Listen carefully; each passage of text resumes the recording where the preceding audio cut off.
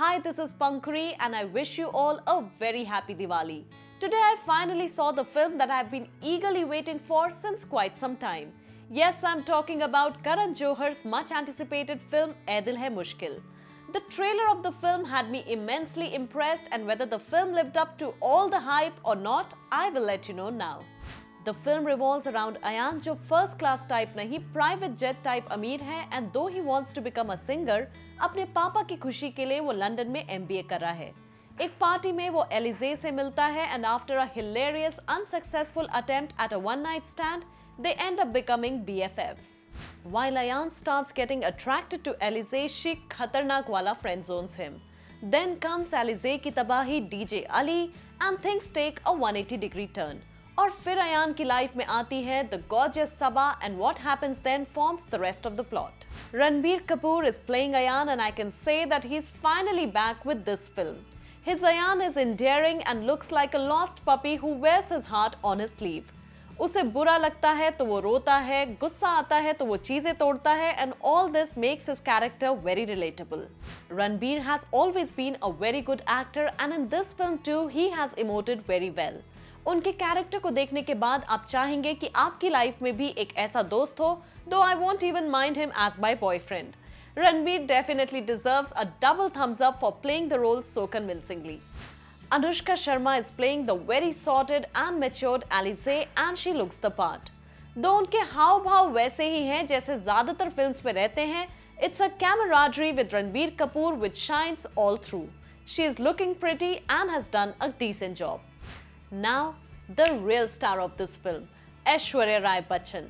She is enchanting and enigmatic as the beautiful Saba and though her dialogues are very poetic और अक्सर आम ज़िंदगी में लोग ऐसे बात नहीं करते वो इतनी खूबसूरत दिख रही हैं that she makes it sound all very believable film में उन्हें डिस्क्राइब करने के लिए रणबीर कहते हैं कि she is a painting and we could not agree more Ash is outstanding in the film, however, she has a small role and I wanted to see more of her.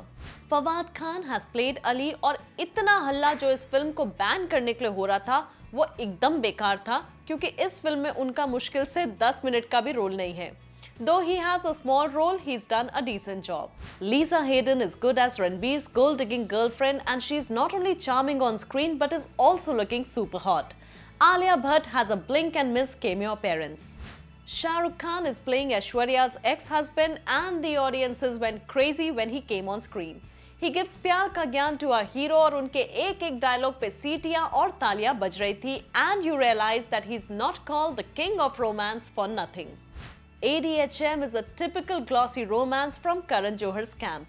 You get what you expect.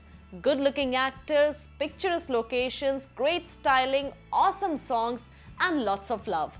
This film is a complete package and I would say that it is Bollywood's love story of the year.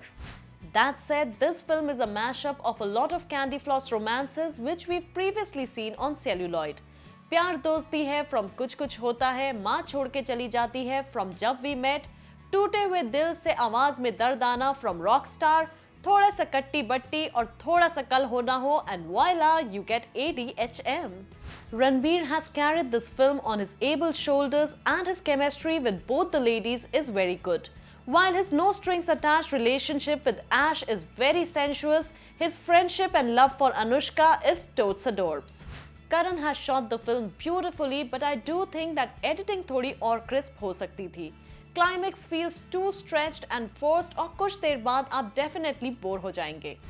Film में काफ़ी पुरानी movies के dialogue से references लिए गए हैं mostly करण के खुद की फ़िल्म से।